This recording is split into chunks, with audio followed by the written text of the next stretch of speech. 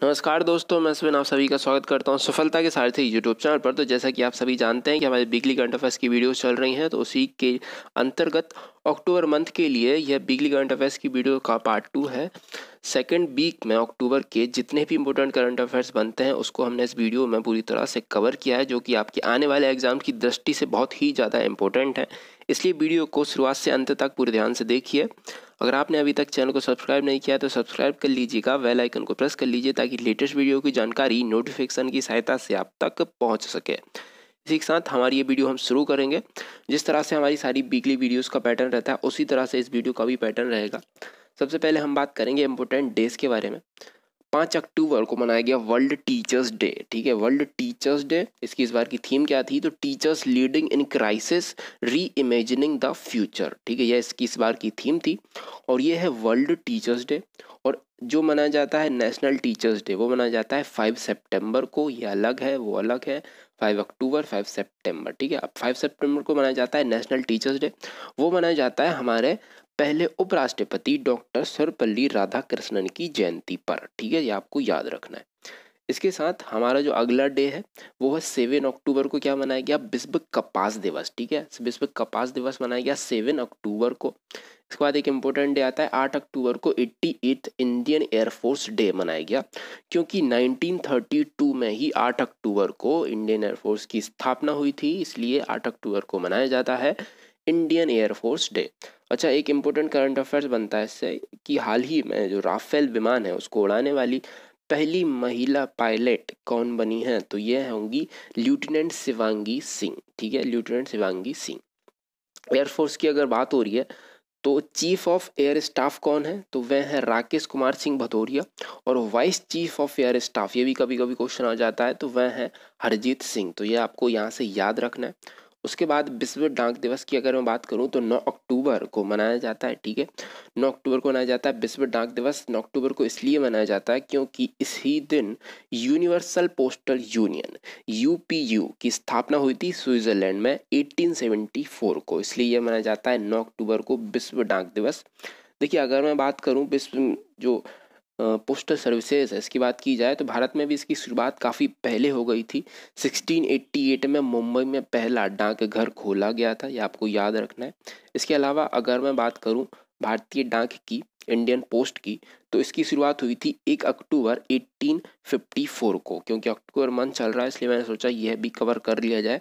इसके अलावा एक और इम्पोर्टेंट क्वेश्चन ये बनता है कि दुनिया का एकमात्र तैरता हुआ पोस्ट ऑफ़िस कहाँ पर है? तो यह है श्रीनगर में और जो कि डल झील पर बनाया हुआ है तो ये आपको याद रखना है, यह दुनिया का एकमात्र तैरता हुआ पोस्ट ऑफ़िस है तो काफ़ी इंपॉर्टेंट क्वेश्चन हो जाता है तो याद रखिएगा।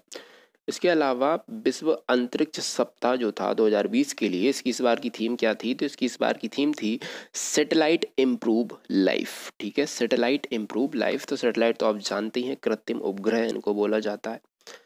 इसके बाद वन्य जीव सप्ताह 2020 जो था, वह 2 से 8 अक्टूबर तक इसको मनाया गया। और इसकी इस बार की थीम थी रोर, ठीक है? रोर एंड रिवाइव, ठीक है? एक्सप्लोरिंग ह्यूमन एनिमल रिलेशनशिप, ठीक है? यह इसकी इस बार की थीम थी। उसके बाद वर्ल्ड हैबिटेट डे 2020 5 अक्टूबर को मनाया गया। और इसकी थीम क्या थी? तो इसकी थीम थी housing for all a better urban future, याद रखिएगा। इसी के साथ हम बात करते हैं श्रद्धांजलियों के बारे में। तो सबसे पहले जो है, वह कुवैत के शासक थे, साविर अल अहमद अल सवा। इनका निधन हो गया है ठीक है? इनको आपको याद रखना है। देखिए, कुवैत जो है ना, इसके बारे में अगर मैं बात करूँ तो कुवैती दीनार जो है, वह दुनिया की सबसे ज़्यादा वैल्यू वाली करेंसी है तो ये आपको याद रखना है। इसके अलावा अफ़गानिस्तान के क्रिकेटर नजीब तारकाई का निधन हो गया है ये भी आपको याद रखना है। केंद्रीय उपभोक्ता मामले व खाद्य और सार्वजनिक मंत्री रामविलास पासवान जी का निधन हो गया है। तो ये आपको ध्यान में रखना है। इनका हाल ही में निधन हुआ है। जिन न्यूज़ में थे, आपने अगर इनको देखा होगा न्यूज़ में, सेवेंटी फोर वर्ष इनकी उम्र थी, इसमें उनका निधन हुआ है।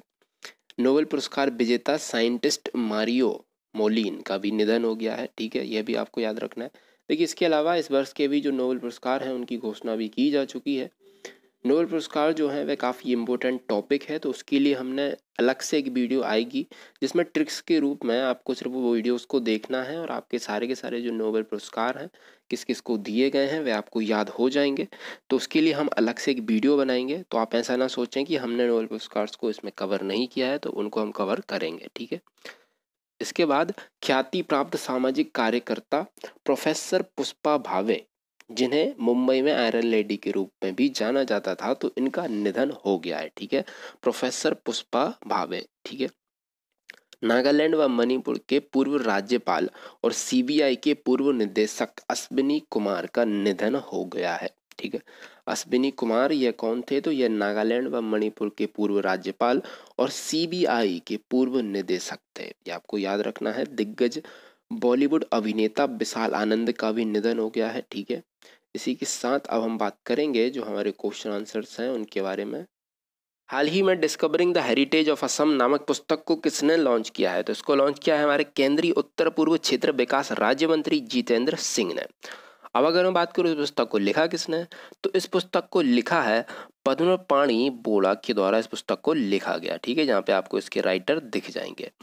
अब अगर मैं बात करूँ ये जो पुस्तक है ना, यह किस विषय पर लिखी गई है तो यह जो पुस्तक है, यह असम राज्य के कुछ अनदेखे पहलुओं के बारे में वर्णन करती है। असम राज्य की भव्यता और उसकी महिमा का वर्णन इस पुस्तक में किया गया है तो काफ़ी अच्छी पुस्तक है ये। इसके अलावा अगर मैं बात करूँ अन्य ऑप्शंस के बारे में, देखिए ये जो ऑप्शंस है ना, ये भी करंट अफेयर्स ही हैं।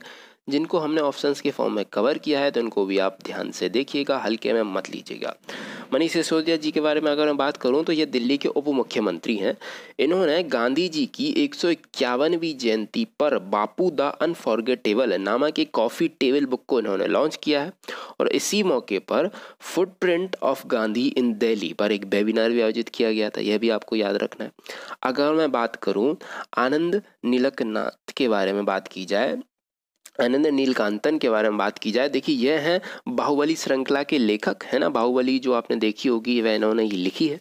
तो इनकी एक पहली बुक आई है, जो इन्होंने बच्चों के लिए लिखी है। बच्चों के लिए इनकी पहली बुक आई है, जिसका नाम है the very extremely most naughty asuras tale for kids. ठीक है यह काफ़ी अच्छी बुक है। तो यह लिखी है इन्होंने। ठीक है, इनका नाम क्या है? इनका नाम है आनंद नीलकांतन। अब मैं बात करूँ पीयूष गोयल जी के बारे में तो उनको आप काफ़ी अच्छे से जानते हैं क्योंकि ये हैं हमारे रेल मंत्री। तो इन्होंने कोलकाता के मेट्रो कॉरिडोर के फूल बागान स्टेशन का उद्घाटन किया है। ये आपको याद रखना है, ठीक है? इसी के साथ हम बढ़ते हैं हमारे अगले क्वेश्चन की तरफ़। हाल ही में जारी हाईएस्ट पेड एक्ट्रेस की लिस्ट में शीर्ष पर कौन रही हैं? तो इसमें शीर्ष पर रही हैं सोफिया बैरगेरा। देखिए, इनके बारे में अगर मैं बात करूँ ना तो यह अमेरिकी टीवी शो मॉडर्न फैमिली की अभिनेत्री रही हैं और अमे अमेरिकाज गॉड टैलेंट जो शो आता था, उसके जज के रूप में भी इन्होंने कार्य किया है, उसके रूप में इन्हें प्रसिद्धि प्राप्त है। तो ये हाईएस्ट पेड एक्ट्रेस की लिस्ट में सीट्स पर रही हैं। तो अगर मैं बात करूँ, यह जो लिस्ट है, इसमें सेकेंड प्लेस पर कौन रहे हैं? तो दूसरे नंबर पर रही हैं हॉलीवुड एक्ट्रेस एंजलिना जॉली जिनके बारे में आप काफ़ी अच्छे से जानते ही होंगे।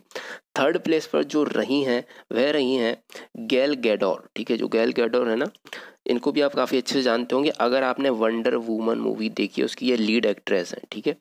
उसके बाद अगर मैं बात करूँ नाओमी ओसाका के बारे में तो जो नाओमी ओसाका हैं, ये सबसे ज़्यादा कमाई करने वाली फीमेल एथलीट हैं। और इनसे आपको ये भी याद आना चाहिए, हाल ही में इन्होंने फ्रेंच ओपन भी तो जीता है टू दो हज़ार बीस का नाओमी ओसाका ने, और ये कहाँ की हैं? तो ये जापान की हैं। इसी के साथ हमारा अगला क्वेश्चन हाल ही में राइट लाइवलीहुड अवार्ड 2020 से किसे सम्मानित किया गया तो यह जो अवार्ड है इससे इन सभी चारों व्यक्तियों को सम्मानित किया गया है। और यह जो अवार्ड है ना, यह स्टॉक होम्स में वैकल्पिक नोबेल अवार्ड के रूप में भी जाना जाता है तो काफ़ी इंपॉर्टेंट है, याद रखिएगा। अब अगर मैं इन व्यक्तियों के बारे में बात करूँ तो जैसे कि आपको पहले नंबर पर लिखे हुए दिख रहे हैं, नसरीन सोतोडेह तो यह कहाँ के हैं? तो यह जो हैं, यह हैं ईरान के, ठीक है ये आपको याद रखना है। इसके बाद बेलारूस के एल एस बलियास्की इनको यह अवार्ड मिला। यह है बेलारूस के, उसके बाद निकारागुआ के, लॉटी कनिंगम वेन को इस अवार्ड से सम्मानित किया गया। यूएसए के जो हैं, वह हैं व्राइन स्टीवेंसन इनको यह इस अवार्ड से सम्मानित किया गया है। तो ये चारों व्यक्ति हैं, इनको आपको याद रखना है। इनको यह अवार्ड समानता, लोकतंत्र, न्याय और स्वतंत्रता के लिए इन्होंने जो अपना योगदान दिया है, उसके लिए इस अवार्ड से सम्मानित किया गया है। तो इनको आप याद रखिएगा। इसी के साथ हम बढ़ते हैं हमारे अगले क्वेश्चन की तरफ़। हाल ही में 2020 के स्वच्छ भारत पुरस्कारों की घोषणा ही की गई है और इसमें स्वच्छ, सुंदर, सामुदायिक शौचालय अभियान में कौन सा राज्य शीर्ष पर रहा है? तो इसमें शीर्ष पर रहा है गुजरात। देखिए, दो अक्टूबर को गांधी जी की एक जयंती थी। इस मौके पर स्वच्छ भारत मिशन के छः वर्ष पूरे हुए और जल मंत्री गजेंद्र सिंह शेखावत व जल राज्य मंत्री रतन लाल कटारिया ने स्वच्छ भारत अवार्ड्स की घोषणा की और ये तीन कैटेगरीज में दिए गए, जिसमें से एक कैटेगरी है स्वच्छ, सुंदर, सामुदायिक शौचालय। इसमें सर्वश्रेष्ठ राज्यों में गुजरात रहा, टॉप पर सर्वश्रेष्ठ जिला जो है वह रहा। तिरुनेलवेली जो कि तमिलनाडु में है। उसके बाद सर्वश्रेष्ठ ब्लॉक के बारे में अगर मैं बात करूँ तो वह रहा खाचरौद, जो कि मध्य प्रदेश में है। ग्राम पंचायत के बारे में बात की जाए तो वह रहा चिन्नौर, ठीक है? बात करूँ अगर सेकंड कैटेगरीज में जो अवार्ड दिए गए, वह कैटेगरीज कौन, वह कैटेगरी कौन सी है? तो वह है सामुदायिक शौचालय अभियान, ठीक है? और इस श्रेणी में सर्वश्रेष्ठ राज्य के रूप में रहा उत्तर प्रदेश। उत्तर प्रदेश गरीब कल्याण रोज़गार अभियान के लिए इस अवार्ड सम्मानित किया गया है। और उत्तर प्रदेश जी के आर ए श्रेणी में टॉप पर रहा है और नॉन जी के आर ए श्रेणी में गुजरात टॉप पर रहा है। अगर मैं बात करूँ सर्वश्रेष्ठ ज़िले के बारे में तो वह रहा प्रयागराज, ठीक है? ग्राम पंचायत जो है, वह है वोरी गाँव। जो कि असम है, ये आपको याद रखना है। इसके अलावा अगर मैं बात करूँ, जो थर्ड कैटेगरी थी, वह कौन सी थी? तो वह थी गंदगी मुक्त अभियान, ठीक है? इसमें सर्वश्रेष्ठ राज्य रहा तेलंगाना और तेलंगाना एवं हरियाणा और सर्वश्रेष्ठ ज़िले के बारे में बात करूँ तो वह रहा पंजाब का जिला मोगा, ये आपको याद रखना है। इसी के साथ हम बढ़ते हैं हमारे अगले क्वेश्चन की तरफ़। हाल ही में भारत बांग्लादेश के बीच कौन सा नौसेना अभ्यास शुरू हुआ है? तो इसके बारे में अगर हम बात करें तो इसका नाम है बोंगो सागर, ठीक है? बोंगो सागर जो है, यह इसका दूसरा संस्करण है। बंगाल की उत्तर खाड़ी में चार से पाँच अक्टूबर को इसका आयोजन हुआ और इस दौरान सतह युद्ध अभ्यास, ठीक है, नाविक कला विकास व हेलीकॉप्टर संचालन का अभ्यास किया गया है इसके अंतर्गत। अगर मैं बात करूँ, ये जो अन्य ऑप्शंस लिखे हुए हैं, इनके बारे में जिमैक्स ट्वेंटी के बारे में बात की जाए तो हाल ही में द्विवार्षिक जापान, भारत, समुद्र द्विपक्षीय अभ्यास जिमैक्स ट्वेंटी का फोर्थ एडिशन का आयोजन किया गया, ठीक है? अरब सागर में इसका आयोजन किया गया था तो यह भी काफ़ी इंपॉर्टेंट है, याद रखना है। मैं बात करूँ मालाबार की तो इसके बारे में हम काफ़ी बारे में, काफ़ी बार इसके बारे में हम बात कर चुके हैं। यह होता है जापान, इंडिया व यूएसए के बीच में, यह आपको याद रखना है, और इस बार के लिए इंडिया ने मालाबार के लिए ऑस्ट्रेलिया को भी आमंत्रित किया है। बात मैं करूँ शक्ति के बारे में, शक्ति जो है, यह इंडिया और फ्रांस के मध्य में होता है, या युद्ध अभ्यास आपको याद रखना है। इसी के साथ हम बढ़ते हैं हमारे अगले क्वेश्चन की तरफ़। हाल ही में किसने international online air rifle shooting championship जीत ली है? तो इसको जीता है भारत के विष्णु शिवराज पंडेन ने। अंतर्राष्ट्रीय ऑनलाइन शूटिंग चैंपियनशिप जो है, यह इसका पांचवा संस्करण था। इसमें 10 मीटर एयर राइफल प्रतियोगिता जीती है। विष्णु शिवराज पांड्यन ने। इसके अलावा देखिए, जो 10 मीटर एयर पिस्टल प्रतियोगिता थी तो वह किसने जीती है? तो वह जीती है यशस्विनी देशपाल ने। ये इन्होंने जीती है टेन मीटर राइफल प्रतियोगिता और उन्होंने टेन मीटर पिस्टल प्रतियोगिता जीती है। दोनों ने गोल्ड प्राप्त किया है तो यह काफ़ी गर्व की बात है, दोनों को याद रखिएगा। इसके अलावा अगर मैं बात करूँ, ये जो प्रतियोगिता थी टेन मीटर एयर राइफल प्रतियोगिता इसमें दूसरे स्थान पर रहे फ्रांस के एटी ने जर्मन, ये आपको याद रखना है। उसके बाद अगर मैं बात करूँ, वर्ल्ड्स मोस्ट इन्फ्लुएंसिंग सीएमओ की सूची में एकमात्र भारतीय रहे हैं रवि संथनम, ठीक है? रवि संथनम, ये आपको याद रखना है, ठीक है? इसी के साथ हम बढ़ते हैं हमारे अगले क्वेश्चन की तरफ़। हाल ही में किसे आरबीआई के डिप्टी गवर्नर के रूप में अपॉइंट किया गया है। देखिए, आरबीआई की डिप्टी गवर्नर के रूप में जिनको अपॉइंट किया गया है, उनका नाम है एम राजेश्वर राव। एम राजेश्वर राव जी जो हैं, इन्होंने जगह किसकी ली है? तो इन्होंने जगह ली है एन एस विश्वनाथन की। देखिए, पहले हम बात करते हैं जो स्ट्रक्चर होता है आरबीआई का, उसके बारे में बात करें तो इसमें एक गवर्नर होता है, चार होते हैं डेप्यूटी गवर्नर ठीक है? जिनमें से एक के रूप में अपॉइंट किए गए, एक डेप्यूटी गवर्नर के रूप में अपॉइंट किए गए राजेश्वर राय अब अगर मैं अन्य तीन के बारे में बात करूँ तो उनका नाम है M D Patra B P Kanungo ठीक है? एम ए जैन और ये चौथे नंबर के हैं एम राजेश्वर राव। और जो गवर्नर हैं, उनके बारे में बात करें तो उनको आप काफ़ी अच्छे से जानते होंगे तो वह हैं पच्चीसवें गवर्नर आरबीआई के शक्तिकांत दास। ठीक है आपको याद रखना है आरबीआई का हेडक्वार्टर है मुंबई में, स्थापना हुई थी एक अप्रैल 1935 को आपको यहाँ से याद रखना है। इसके अलावा जो आपको सारे के सारे ऑप्शन यहाँ पे लिखे हुए दिख रहे हैं, उनके बारे में अगर मैं बात करूँ तो केंद्र सरकार ने तीन economist Ashima Goyal, Jayant R Varma doctor Shashank Bhide इन तीनों को मॉनेटरी पॉलिसी कमेटी का सदस्य के रूप में इनको चुना है तो ये तीनों आपको याद रखने हैं, ठीक है? इसी के साथ हम बढ़ते हैं हमारे अगले क्वेश्चन की तरफ़। हाल ही में आईएसीसी है किसे लाइफ टाइम अचीवमेंट अवार्ड से सम्मानित किया गया है तो इनके बारे में अगर हम बात करें तो ये है रतन टाटा जी। आईएसीसी का फुल फॉर्म है Indo Indo American chambers of commerce ठीक है? इसका फुल फॉर्म है। तो इंडिया और यूएसए के बिज़नेस रिलेशनशिप्स में इन्होंने महत्वपूर्ण भूमिका निभाई थी। व ग्लोबल लीडरशिप के लिए इन्हें लाइफ टाइम अचीवमेंट अवार्ड से सम्मानित किया गया। और ऐसा पहली बार हुआ है कि जब आई ने किसी व्यक्ति को लाइफ टाइम अचीवमेंट अवार्ड प्रदान किया हो। अच्छा आई के भारत में राष्ट्रीय अध्यक्ष कौन है? उनके बारे में अगर हम बात करें तो वह हैं पूर्ण चंद्र राव, इसका हेडक्वार्टर है मुंबई में। अब अगर मैं बात करूँ अन्य ऑप्शंस के बारे में तो नित्यानंद नायक जो हैं, इनको सरला पुरस्कार से सम्मानित किया गया। संजय सिंह के बारे में आप जानते होंगे, यह आम आदमी पार्टी के हैं। इनको गांधी पुरस्कार से सम्मानित किया गया। और केरला को मिला है इंडिया टुडे हेल्थ ग्री अवार्ड। ये आपको यहाँ से याद रखना है। इसी साथ हम बढ़ते हैं हमारे अगले क्वेश्चन की तरफ़। हाल ही में किस राज्य की मशहूर मिर्च डले खुरसनी को जीआई टैग प्रदान किया गया तो यह सिक्किम राज्य की मशहूर मिर्च है। ठीक है, इसको स्थानीय भाषा में डले खुरसीन के नाम से जाना जाता है।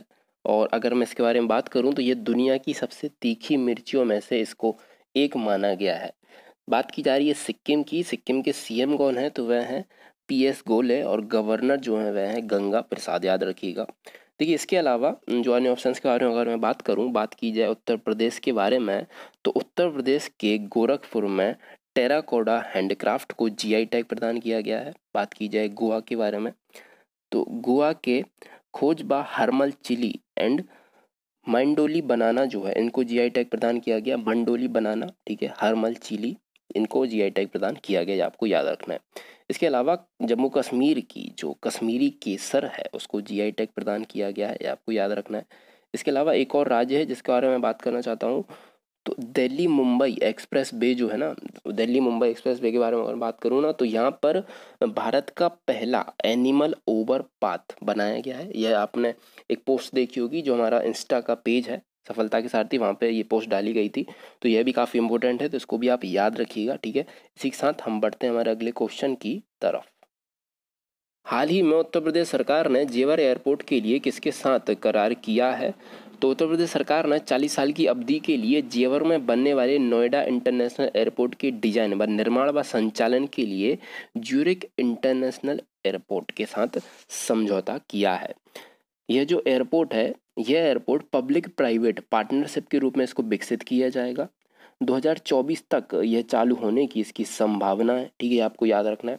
अच्छा उत्तर प्रदेश जो है ना, उत्तर प्रदेश के सीएम कौन है? तो वह है योगी आदित्यनाथ, है ना? और गवर्नर है आनंदीबेन पटेल।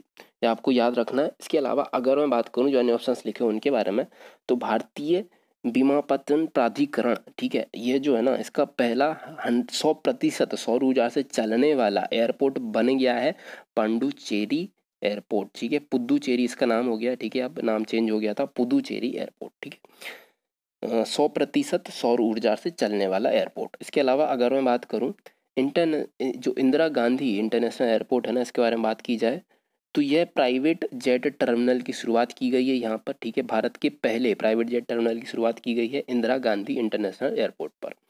अब जो सितबे पोर्ट आपको यहाँ पे लिखा हुआ दिख रहा है, यहाँ पे इसलिए लिखा हुआ दिख रहा है क्योंकि भारत व म्यांमार ने वर्ष 2021 की पहली तिमाही पर जो म्यांमार में जो सितवे पोर्ट है, इसका जो निर्माण है वह चालू कर दिया है और जो सितबे है भारत उसका संचालन करेगा। ठीक है, यह है म्यांमार में स्थित है एक बंदरगाह है ये आपको याद रखना है।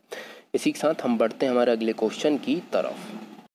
हाल ही में किसे नीदरलैंड में भारतीय राजदूत के रूप में नियुक्त किया गया है?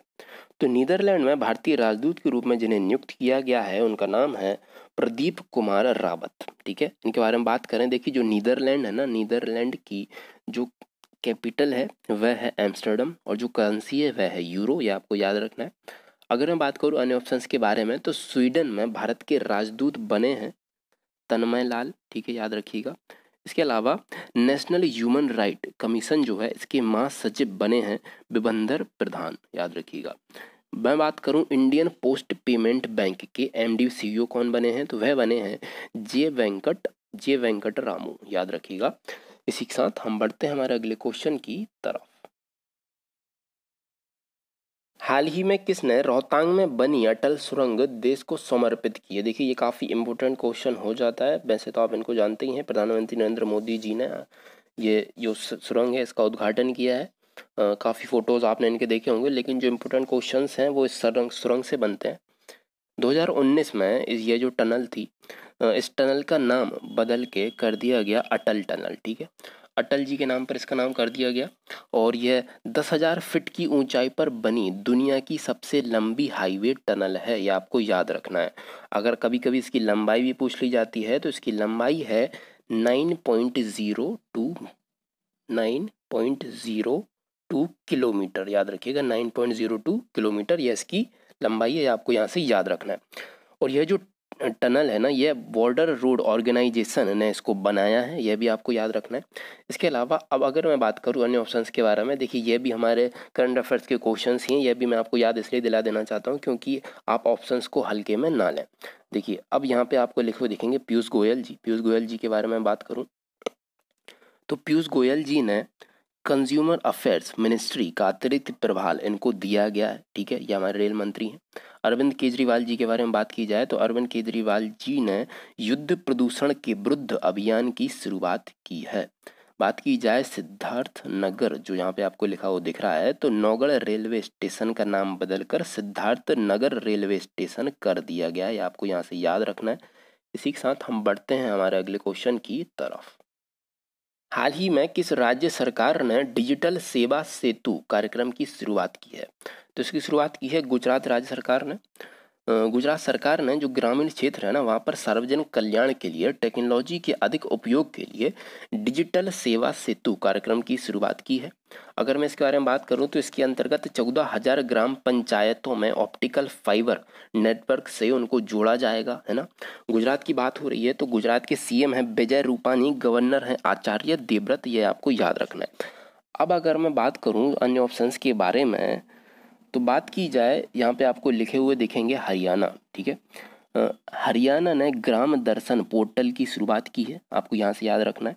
बात की जाए असम के बारे में तो असम ने कृतज्ञता पोर्टल को लॉन्च किया है। क्या लॉन्च किया असम ने? कृतज्ञता पोर्टल। वेस्ट बंगाल के बारे में बात की जाए तो वेस्ट बंगाल ने पथश्री अभियान की शुरुआत की है। इसके अलावा मैं एक और राज्य के बारे में बात करना चाहता हूँ, मेघालय, ठीक है? मेघालय ने सेंटर ऑफ़ एक्सीलेंस की स्थापना के लिए इजराइल के साथ समझौता किया है। किसने समझौता किया है? मेघालय ने सेंटर ऑफ़ एक्सीलेंस की स्थापना के लिए इजराइल के साथ समझौता किया है। आपको यहाँ से याद रखना है। इसी के साथ हम बढ़ते हैं हमारे अगले क्वेश्चन की तरफ़। हाल ही में भारतीय कपास का पहला ब्रांड वाला लोगो लॉन्च किया गया है। तो इसको किसने लॉन्च किया है? देखिए, इसको लॉन्च किया है हमारी केंद्रीय कपड़ा मंत्री स्मृति ईरानी ने। अगर आप लोगों की बात करेंगे तो यह लोगो जैसा कि आपको दिख रहा है, कस्तूरी कॉटन, इंडिया यह लोगो लॉन्च किया गया। और दूसरे कपास डे जो था, उसके अवसर पर इसको लॉन्च किया गया है। अब भारत का जो प्रीमियम कपास है ना, वह विश्व भर में कस्तूरी कपास के रूप में जाना जाएगा।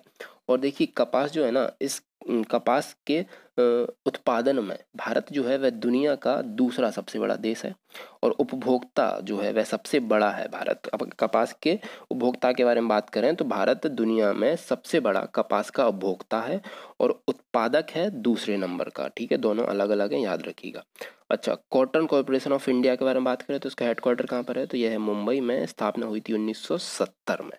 बात अगर मैं करूँ अन्य ऑप्शंस के बारे में तो एम ए गणपति जी के बारे में बात करें तो इन्हें नागरिक उड्डयन सुरक्षा ब्यूरो का महानिदेशक के रूप में इनको अपॉइंट किया गया है। बात की जाए एस जयशंकर के बारे में तो इनको आप जानते ही होंगे, ये हमारे विदेश मंत्री हैं। इनकी बात इसलिए की जा रही है क्योंकि हाल ही में जापान के टोक्यो में जो क्वाड्स कंट्रीज़ है ना, उनके विदेश मंत्रियों की बैठक हुई थी तो वहाँ पर यह गए थे, ठीक है? नीलेश शाह जी के बारे में बात की जाए तो नीलेश शाह दोबारा से association of mutual fund in India AMFI के अध्यक्ष नियुक्त किए गए हैं, आपको याद रखना है। इसी के साथ हम बढ़ते हैं हमारे अगले क्वेश्चन की तरफ़। हाल ही में किसे जॉर्डन का नया प्रधानमंत्री नियुक्त किया गया है? देखिए, जॉर्डन के जो किंग है ना, अब्दुल्ला द्वितीय इवन ए आई हुसैन, इन्होंने किंग के नीति सलाहकार बिसर अल खसाब ने इनको जॉर्डन के नए प्रधानमंत्री के रूप में इनको अपॉइंट किया है। आपको याद रखना है इसके अलावा बात की जा रही है जॉर्डन की तो जॉर्डन की जो कैपिटल है, वह है अमान और जो करेंसी है, वह है जॉर्डनी दीनार, याद रखिएगा। इसके अलावा अगर मैं बात करूँ अन्य ऑप्शंस के बारे में, देखिए कुवैत के नए क्राउन प्रिंस जो हैं, वह कौन बन गए हैं? तो वह बन गए हैं शेख मसाल अल अहमद, अल जवर अल सवा, ये आपको याद रखना है, काफ़ी बड़े नाम होते हैं इनके। इसके अलावा एक और इम्पोर्टेंट क्वेश्चन ये बनता है, जो फिनलैंड है ना, फिनलैंड में एक दिन के लिए आईवा मोटो को प्रधानमंत्री बनाया गया था। यह एक सोलह वर्षीय महिला हैं। इनके बारे में अच्छा सोलह वर्षीय लड़की हैं। इनको बनाया गया था आईवा मोटो को। तो ये, वैसे यह पोस्ट हमने शेयर की थी। आपने अगर याद होगा तो हमारा जो इंस्टाग्राम पर जो पेज है, वहाँ पर इस पोस्ट को शेयर किया गया था इनकी फ़ोटो के साथ। तो ये आपको याद होगा, काफ़ी इम्पोर्टेंट हो जाता है। महिला सशक्तिकरण के लिए यह किया गया है। बात मैं करूँ उत्तर प्रदेश के बारे में तो उत्तर प्रदेश ने गरीब कल्याण रोज़गार अभियान के तहत जीते हैं आठ अवार्ड्स ये आपको उत्तर प्रदेश से याद रखना है। इसी के साथ हम बढ़ते हैं हमारे अगले क्वेश्चन की तरफ़। हाल ही में कौन एसबीआई के नए चेयरमैन बन गए देखिए, काफ़ी इंपॉर्टेंट क्वेश्चन है। कभी कभी क्या होता है कि जो पुराने चेयरमैन हैं, वह तो आपको याद होंगे, रजनीश कुमार तो आप जल्दी से उनको लगा के आ जाएँगे ऑप्शन में देख के तो वो आपको नहीं करना है। चेयरमैन अब जो बने हैं, वह हैं दिनेश कुमार खारा। ठीक है? इनके बारे में बात करें तो भारतीय स्टेट बैंक के नए चेयरमैन के रूप में इनको अपॉइंट किया गया है और रजनीश कुमार जी की यह जगह लेंगे। तो याद रखिएगा, रजनीश कुमार नहीं लगाना है कभी कभी हो जाती हैं गलतियाँ, इसलिए बता रहा हूँ। देखिए, एसबीआई की स्थापना हुई थी एक जुलाई 1955 को और एस का जो हेडक्वार्टर है वह है मुंबई में। इसके अलावा, अगर मैं बात करूँ अन्य ऑप्शंस के बारे में तो एसबीआई ने चरणजीत चरणजीत जो आत्रा हैं, इनके बारे में बात की जाए तो इनको अपना नया चीफ फाइनेंस ऑफिसर बनाया है C F O chief finance officer बनाया है, ठीक है, ये आपको याद रखना है। इसके अलावा, अब अगर मैं बात करूँ तो आरबीआई ने जम्मू कश्मीर बैंक के सी एम डी आर के चिब्बार, जो आपको लिखो यहाँ पे दिखेंगे, राजेश के चिब्बार, इनको, इनका जो कार्यकाल है, उसको छः महीने के लिए बढ़ा दिया गया है, ठीक है, ये आपको याद रखना है। और इसरो के बारे में अगर बात करूँ यहाँ की, जैसा कि आपको यहाँ पे लिखा हुआ दिख रहा है तो 2025 में अपना शुक्र मिशन शुरू करेगी इसरो ठीक है? शुक्र पर जाएगी अब इसरो याद रखिएगा। इसी के साथ हमारा अगला क्वेश्चन हाल ही में भारत ने उड़ीसा तट पर सौर्य मिसाइल का सफल परीक्षण किया है तो इसका निर्माण किसने किया है, ठीक है? तो इसका निर्माण किया है defence research development organisation DRDO ने। उड़ीसा तट के बालासोर में सतह से सतह पर मार करने वाली परमाणु सक्षम बैलिस्टियल मिसाइल सौर के नए संस्करण का सफल परीक्षण हुआ है। और अगर मैं बात करूँ इसकी क्षमता क्या रहेगी तो यह 800 किलोमीटर की सीमा तक लक्ष्य को गिरा सकती है। तो काफ़ी ताकतवर है यह। अगर मैं बात करूँ डीआरडीओ की बात हो रही है तो इसके अध्यक्ष कौन है? तो यह है जी सतीश रेड्डी, हेडक्वार्टर है दिल्ली में। बात की जाए, अगर मैं बात करूँ जो अन्य ऑप्शन लिखे हुए उनके बारे में, देखिए बात की जाए रूस की, ठीक है? तो रूस ने टी सिरकोम हाइपरसोनिक मिसाइल का सफल परीक्षण किया है, ठीक है? टी सिरकोम हाइपरसोनिक मिसाइल का सफल परीक्षण किसने किया है? सफल परीक्षण किया है रूस ने। अब मैं बात करूँ चीन यहाँ पे लिखा हुआ आपको दिखेगा। तो चीन दुनिया का पहला एस, जो एस्ट्रॉयड होता है ना एस्ट्रॉयड माइनिंग रोबोट अंतरिक्ष में भेजेगा। मतलब कि जो एस्ट्रॉयड है, वहाँ पर यह खुदाई करेगा और पता लगाएगा, कई वैज्ञानिक जानकारी वहाँ से प्राप्त की जाएँगी साइंस की नज़रिए से। इसके अलावा अगर मैं बात करूँ, यहाँ पे दिख रहा है आपको नासा के बारे में बात की जाए, देखिए नासा यहाँ पे लिखा हुआ आपको नहीं दिख रहा है, लेकिन मैं उसके बारे में बात करना चाहता हूँ। नासा ने कल्पना चावला के नाम पर कार्गो स्पेस क्राफ्ट को लॉन्च किया है, आपको याद रखना है, ठीक है? किसने लॉन्च किया है? नासा ने। इसी के साथ हमारी ये वीडियो यहीं पे समाप्त करते हैं। अगर आपको हमारी ये वीडियो पसंद आई है तो इसको ज़्यादा से ज़्यादा लाइक करिए, दोस्तों के साथ शेयर करिए, और आने वाले एग्ज़ाम्स के लिए तो ये इंपॉर्टेंट है ही। तो उन तक यह वीडियो पहुंचाइए जिनको इसकी ज़रूरत है और आप भी इसको दो तीन बार देखिए, आप नोट्स भी बना सकते हैं। इसी के साथ हमारी वीडियो यहीं पर समाप्त करते हैं। फिर मिलते हैं दोस्तों। जय हिंद।